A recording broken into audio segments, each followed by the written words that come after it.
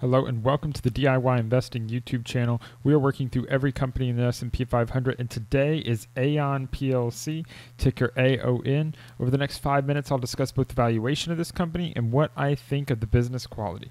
This company is in the insurance industry. Looks like it's around $70 billion in market cap. So it says that they are a professional services firm. They provide advice solution focused on risk retirement and health worldwide.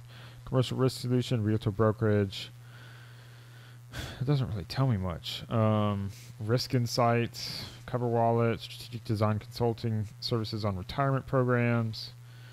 Really doesn't tell me what they're doing. Okay, so their beta less than one is a little interesting um, because for their an S&P 500, so that means they're about 12% less volatile than the average S&P stock.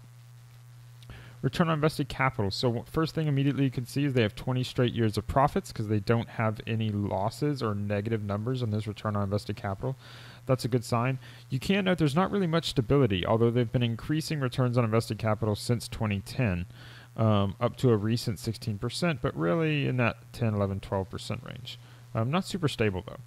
Uh, 10 year median returns, return on assets of 4.7%, return on equity of 24%, which is very nice, and that ROC in the double digits, very strong. So I like seeing that double digit return on invested capital and 24% for return on equity.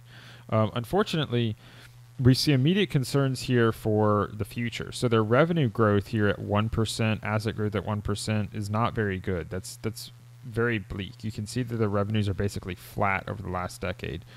Um, high returns on equity aren't really valuable if you can't grow.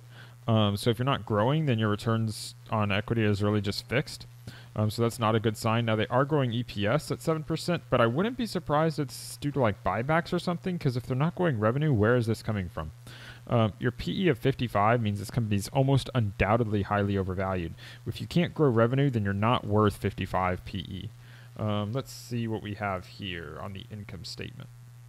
So shares diluted. You do see that they're buying back shares. They bought back about 33%, about a third of the shares over the last decade. So that's a good sign.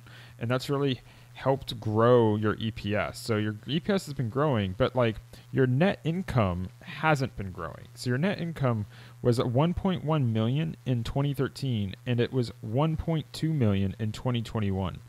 This is not a lot of growth. Now there is a dip from 2020, so it suggests that maybe in 2020 they were off a little better, um, and that this recent dip isn't reflective of their overall business, but this is still pretty weak. It's not like their revenue's gone anywhere. So all of this growth in EPS is really coming from the buybacks. Um, let's look at our balance sheet. Um, so your PP&E, despite growing your not growing your revenue, your PP&E has been increasing, not a significant amount, but it's increased some. Um, let's see, what else do we have here? Long-term debt has doubled from four billion to eight billion, so they've increased the leverage a little bit. Um, so basically, that's how they're getting their return. They've increased their leverage. They've bought back some shares.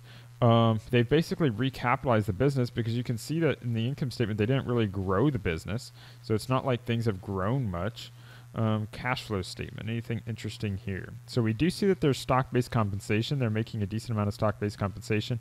However, so you're in the 200 million to 400 million range for stock-based compensation, but then the buybacks each year has been in the 1 billion to 3 billion range. So no matter what, they're buying back three, four, five times their uh, stock-based compensation every year. So it is driving the the stock shares outstanding down every year. So you like to see that.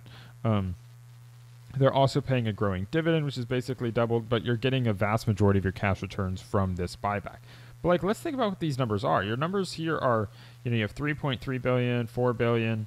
Um, generously, we'll use the most recent numbers where it was four billion dollars. Um, in cash paid back to shareholders. But this company has a market cap of $70 billion, which is just not workable. So um, let's bring in our little calculator here.